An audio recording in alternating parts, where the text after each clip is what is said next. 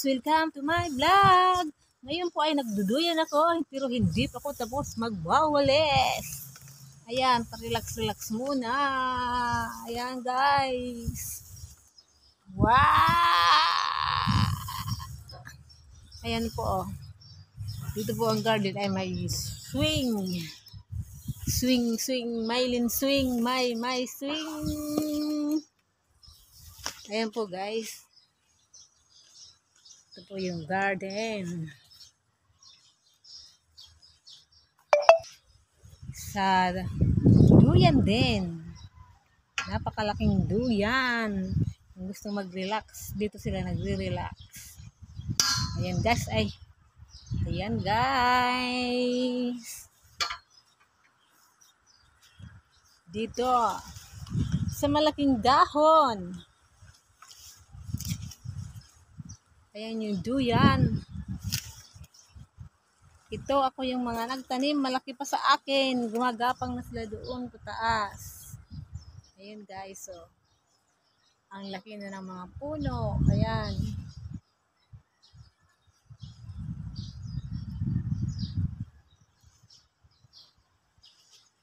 Ayan guys.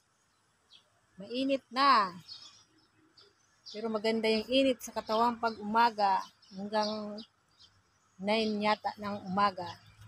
Ayan guys, ang mga kapaligiran. Ayan din yung bugambilya.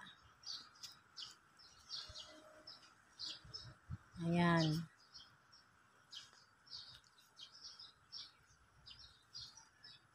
Ito yung gawain ko pag umaga, nagwawalis at nagdidilig ng mga halaman. Ayan.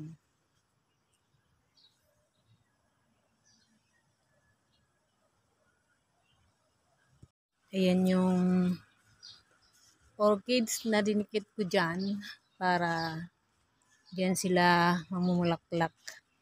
Ayan o. Oh. Kumapit na yung ugat sa puno. Ayan o.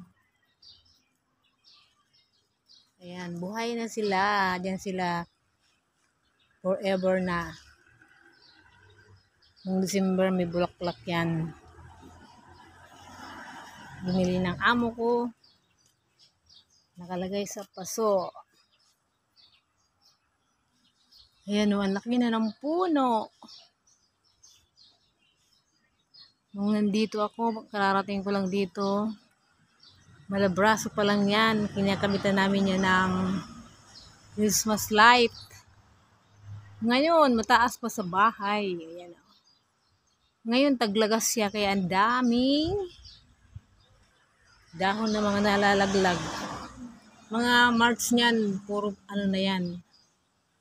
May bagong dahon.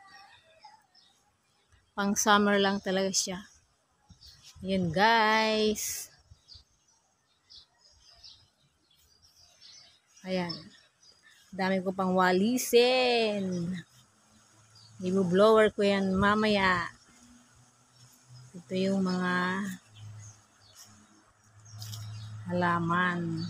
Ito nasa loob yan kaso lang nagtatampo siya kaya dito uli linabas. Ayan yung malaki na siya. Dati maliit yan. Doon niya sa loob ng bahay. Nung lumaki na, ilinabas na. Ayan, may bulaklak na yung matinik yung matalas yung dahon niyan, guys. Ayan, lagundi. Lagundi. Malaki yan dati. Pinutulan na kasi sobrang laki. Kaya ginawang bonsai. Ginupitan ko yan. Ayan, mga bonsai na halaman.